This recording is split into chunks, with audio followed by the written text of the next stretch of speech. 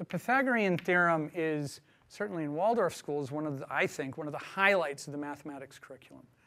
You know, we really look at this historically, philosophically, can be introduced anywhere between sixth and seventh grade typically.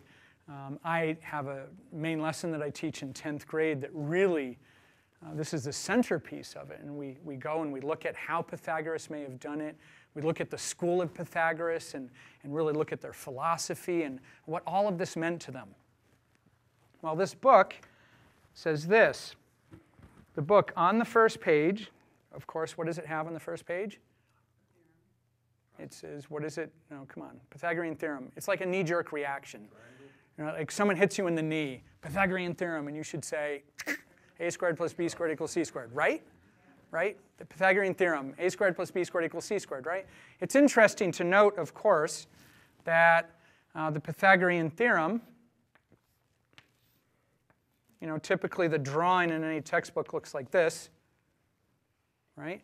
And then they say a squared plus b squared equals c squared. It's very interesting to note that if you'd come up to, if you could somehow magically go back in time and say, whoa, I really want to meet Pythagoras, and you go up to him and you go, hey, a squared plus b squared equals c squared, he would think you were weird, probably for many reasons, but he, he wouldn't recognize this.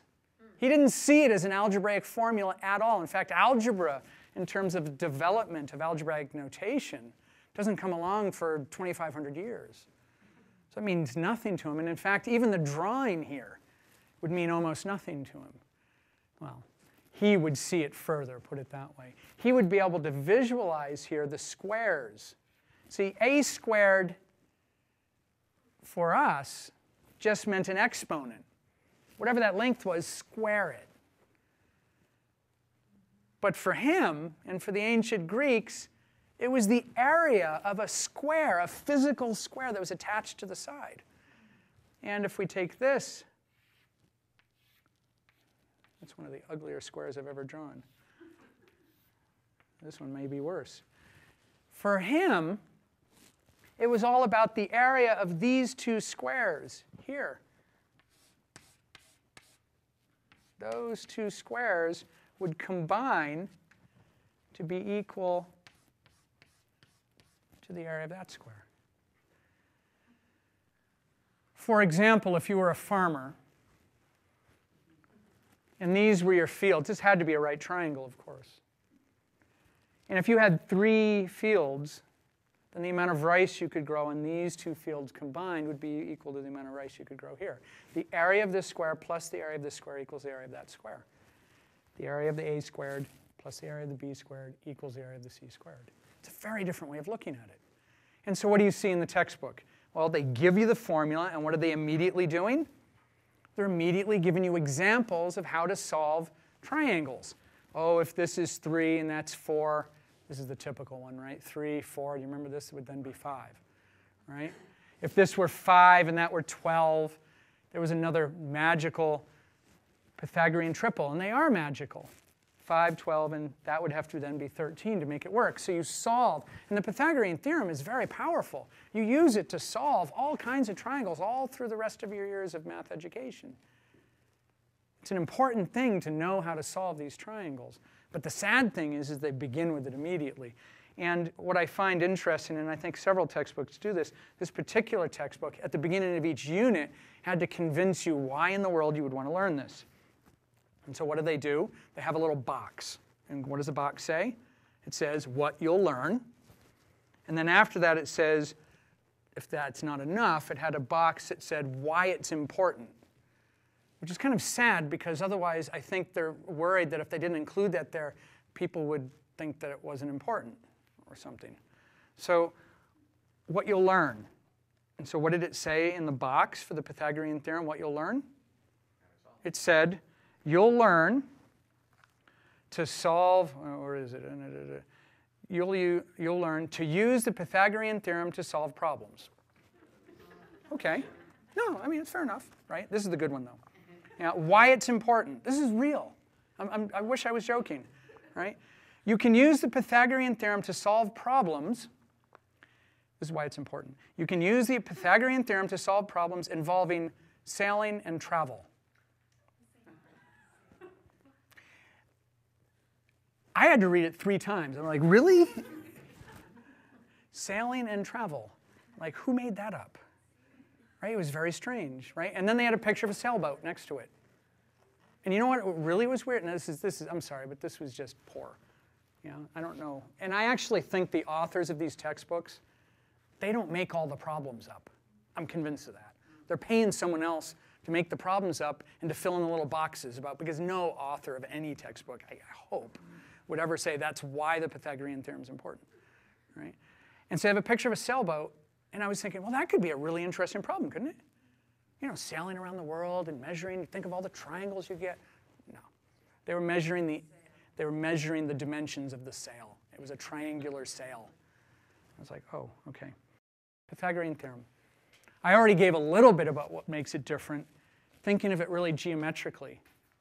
You know, I think it's really sad that it's all been reduced to an algebraic formula. Yeah? So how can we really get into making it something that's actually really interesting and curious and alive?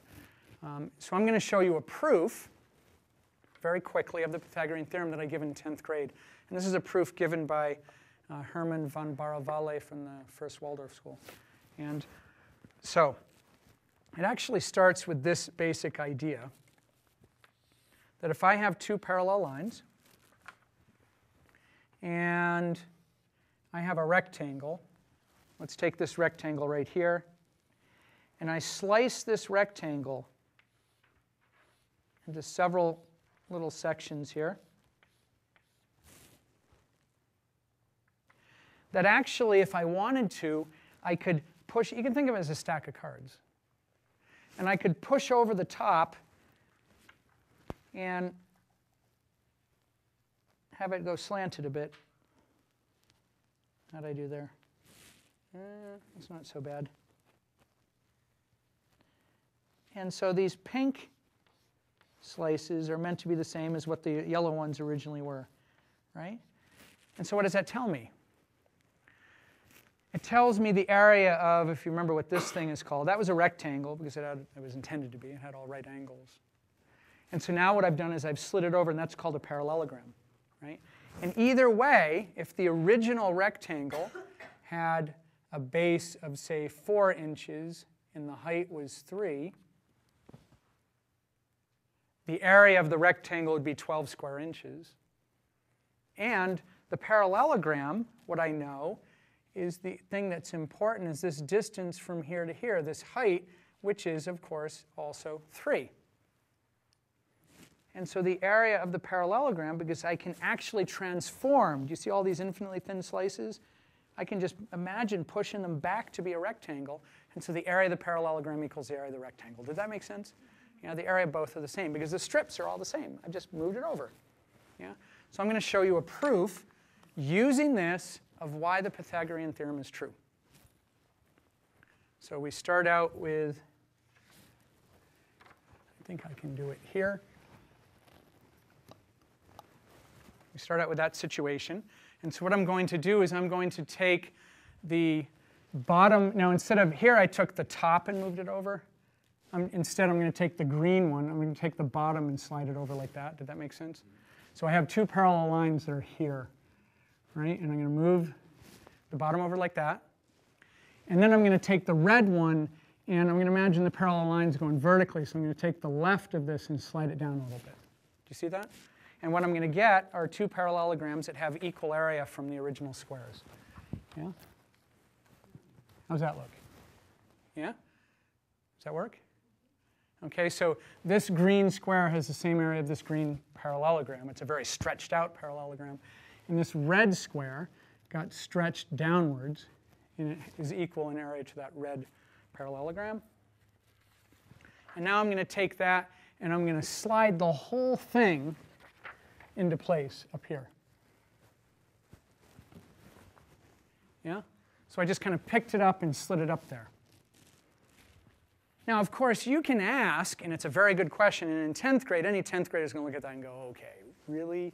Why do you know it fits? But an eighth grader typically is not going to ask that. The eighth grader is going to go, oh, look, it looks like it fits. Good enough for me. And that's all right, right? They're in a different place developmentally, so it's actually okay. The 10th grader, we really analyze it, And then the last thing I'm going to do, you can see that we now have parallel lines kind of going at a slant, right? And so now I'm going to kind of go with my hand and hit that corner and knock all those lines, all the red and green lines, up into the final square. Yeah? And there it is. Yeah? To me, this captures the imagination and the essence of, you know, a question that should live. The first thing the student, you know, a student really should sit there and go, well, how do you know that's true? How did Pythagoras? Pythagoras had a very different proof, by the way. And in 10th grade, through a main lesson, that's what we do. The first, one of the first things we do, we look at six different proofs of the Pythagorean theorem. That's one of them. Yeah? And we look at a total of six, and then we analyze them and we look at, well, which one's a better proof? Well, it depends what you're looking for. For a seventh grader, this is better. For an eighth grader, this is, you know. And so we look at them all, and then finally, which proof would be the, the perfect proof? Because Euclid was in search of the perfect proof. And what was that? Which of the six proofs would be good enough for Euclid? And the answer is none of them. He was way too picky. And then the whole rest of the next few weeks is trying to see, well, how did Euclid did it? And he went way over the top with this really elaborate proof. Yeah? But you're building it up historically and philosophically, and then the Pythagorean, has, Pythagorean theorem has real meaning. It's not just some random formula seemingly pulled out of a hat.